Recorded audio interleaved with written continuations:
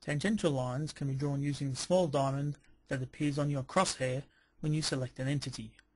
The entity selected can be the start or end of the line. To draw tangential lines, select the Insert Line command from the main toolbar. The prompt tells you to select the start of the line. To draw a line from the end of the red line, ending tangential with the blue circle, Snap to the end of the line using the snapping square, and then select the blue circle with the diamond roughly where you want the tangential line to occur.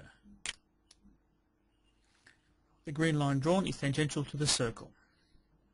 Click your right mouse button to stop drawing that series of lines.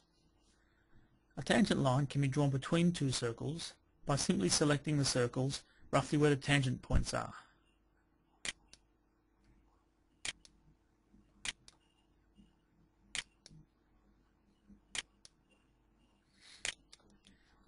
Tangents can also be drawn for arcs and curves. Select the start point of the, the line and then select the arc with the diamond.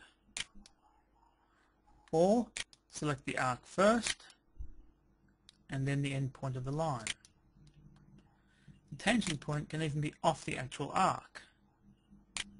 The line starts where the tangent point would be if the arc was extended.